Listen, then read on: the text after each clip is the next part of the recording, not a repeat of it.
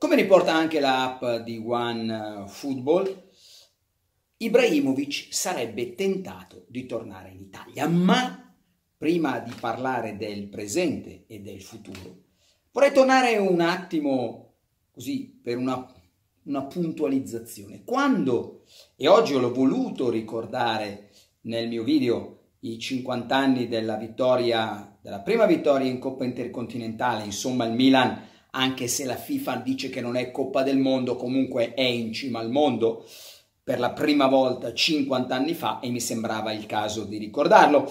Ho, eh, e ho ribadito questi ricordi con i filmati, con il gol di Rivera, il Milan perse 2-1 ma vinse 3-0 l'andata e quindi diventò campione del mondo, o meglio vinse la Coppa Intercontinentale. È un periodo che con la solita educazione, come sempre i tifosi del Milan parlano con me, non si vive solo di ricordi. Quei ricordi sbi- sono sbiaditi. Allora, innanzitutto, per qualcuno saranno sbiaditi, per me sono vivissimi perché arrivare in cima al mondo è un ricordo indimenticabile. Ma quando si torna a delle, dei momenti belli del Milan, il solito leitmotiv, il solito refrain, non si vive di ricordi. Come tutti coloro che siano stati, per esempio, a Barcellona nel 1989 non debbano ricordare quella data, non si vive di ricordi, nessuno vive di ricordi, solo di ricordi, ma se i ricordi ci sono, se un compleanno, un fidanzamento, una prima ragazza, una bella gita, la comunione dei figli, non si vive di ricordi ricordando la comunione dei figli o una bella gita insieme ad amici, non si vive, però però quando magari si pensa a quel giorno, ah, io ricordo quella gita, quel fidanzamento, quella, quella, quella ragazza, quel, quella cresima, eccetera. È un ricordo, i ricordi appartengono, poi uno li può vivere meglio e, me, e meno bene, ma ogni volta che si ricorda qualcosa di piacevole del Milan non si vive di ricordi, ma chi vive di ricordi? Chiaro che viviamo di futuro, chiaro che vorremmo vedere il Milan in condizioni certamente migliori di classifica, di umore, di prestazioni rispetto adesso. Ma se dobbiamo ricordare che il Milan 50 anni fa, perché così dice la storia, ha vinto la Coppa Intercontinentale, lo ricordiamo come ricordiamo i compleanni. Non si festeggiano più i compleanni perché è il passato e viviamo solo di lontani ricordi. Detto questo, parliamo di Ibrahimovic. Domenica mattina alle 10.49 ricevo un WhatsApp da Stoccolma, amici miei di Stoccolma.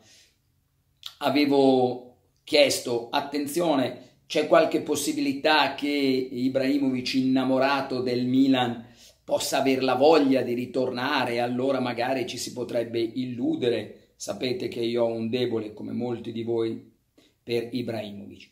Purtroppo sono stato un po' disilluso da quello che mi è stato detto, mi auguro di sbagliarmi, mi auguro di essere poi smentito, mi auguro poi di festeggiare.